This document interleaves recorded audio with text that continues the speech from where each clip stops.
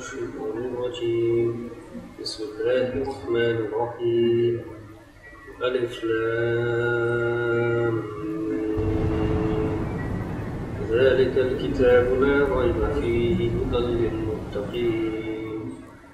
الذين يؤمنون بالغيب ويقيمون الصلاة ومما رزقناهم ينفقون. والذين يؤمنون بما أنزل إليك وما أنزل من قبلك وبالآخرة هم يوقنون الله الله الله الله Assalamu alaikum wa rahmatullah. My name is Maher. I used to play for a very successful band called Nemesis. Uh, we had come up with two albums in the past 13 years. I um, took a permanent break from music to come fully in the way of Islam. But ব্যাপারটা wasn't always like this. আমরা যখন সবাই ছোট মানে আমি আমার ভাই আমার বোন তখন উই আর প্র্যাকটিসিং আমরা পাঁচ ওয়াক্ত আলহামদুলিল্লাহ নামাজ পড়তাম but then uh, you know a lot of distractions including music came into our lives there was a point where I was doing music and I was offering my salah giving priority to my salah first and then doing music which made it um, okay in a sense to do music well, now I, I've decided to quit, and when I look back, I think um, that Islam is not only about Salah; it has, you know, other major things that uh, we need to follow. And খালি নামাজ পড়লে যে হবে সেটা না if you're into music it does take you your mind away from Allah even though I was offering my salah but the other things I wasn't able to do because I never had the time.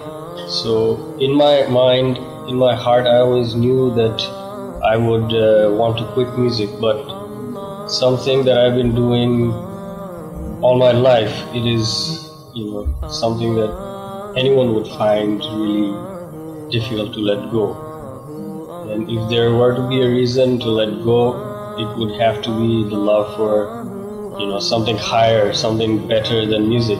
And in my case uh, it was Allah. The love was for Allah. Uh, if it were for anything else I don't think I would have been able to quit honestly.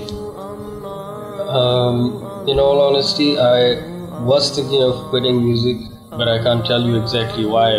It's just something that was in my heart that I had to let go. I, I felt that something was not quite right. So, but I could never let, let go. And I guess I needed a, someone to pull the trigger.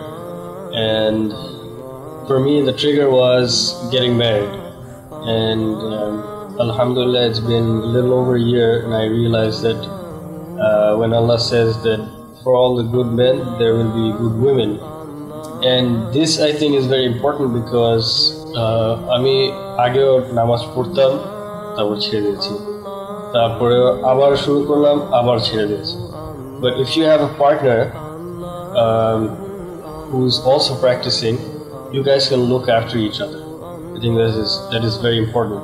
Ultimately, uh, my life as it was compared to what it is now, the only difference I see is uh, guidance. So if Allah guides us, uh, then you know you're you're set for life. Even if you're the best person, you still are in need for Allah's guidance. So the first and foremost thing that I would advise you know anyone to do is to ask for guidance. Then everything. My biggest inspiration would be my mother, uh, because uh, when we were children, she wasn't 100% practicing herself. So as we grew up, we grew up watching her grow as a Muslim. And the first time she did hijab, she came to pick us up from school, and we were denying the fact that she was our mother. we were trying to run away from her. Uh, but then, from uh, you know the socially accepted hijab she went to the more traditional hijab over the years, and I've seen her tra- transform, and that you know really inspires me. Uh, after I quit music, I've grown a beard, so you know I've had to hear you know names being called after me, Jamaat, and all that, and peer pressure. I think you know most mostly the question that I get asked is uh, Maher, Maher, why why have you left music? You know, so um, it's it's hard to explain to someone who's not really you know following the same uh, train of thought as you are. But I I tell them that you know it's it's for the best. You know, it's because Allah has guided me, and I I wish that Allah guides you so that you realize something as well. الصبح بدا من طلعته والليل